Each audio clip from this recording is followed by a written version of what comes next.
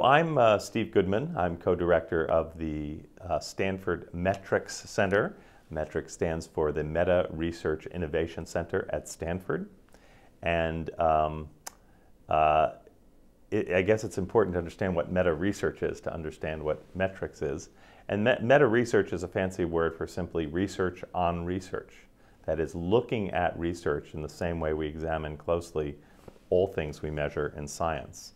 And why would we want to measure research or, or look at research? It is because scientific research and its validity is so critical to, in a sense, everything we do. Um, and there's a lot of evidence that's been accumulating over the past 10, 20 years that, uh, that, that the research that appears generally, but particularly in the medical field, which will be our primary but not exclusive focus, um, isn't as informative as it should be. That is, there are a lot of studies that don't tell us very much, uh, and some studies that might even tell us the wrong thing. And of course, then there are those studies that are huge advances. And it's sometimes hard just by looking at a study, at a single study, to tell whether this is likely right or whether this is likely wrong.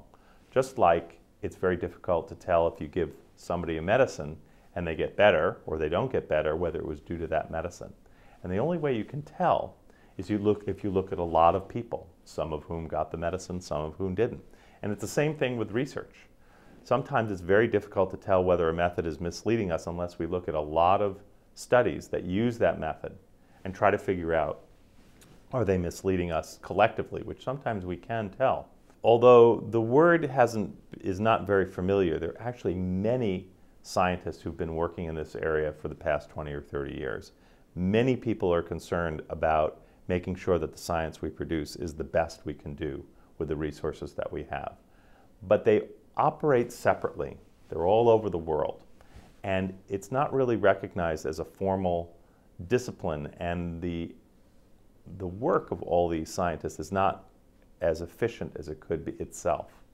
So one of the goals of the center is to set up a formal program of study to bring together the best minds, both here at Stanford, in our faculty, in our students, and for the first time, really, bring together scientists from all over the world who are studying these issues and trying to come up with better ways to do science or report science or um, publish science um, to improve the total body of um, scientific research. Ultimately, of course, the reason we're doing this is because, particularly in medicine, people's lives depend on it. Uh, the evidence that's produced in scientific studies is the evidence that doctors use to decide what treatments they give, uh, what treatments they don't give. Um, and it's absolutely critical that the evidence base be as reliable as it possibly can be.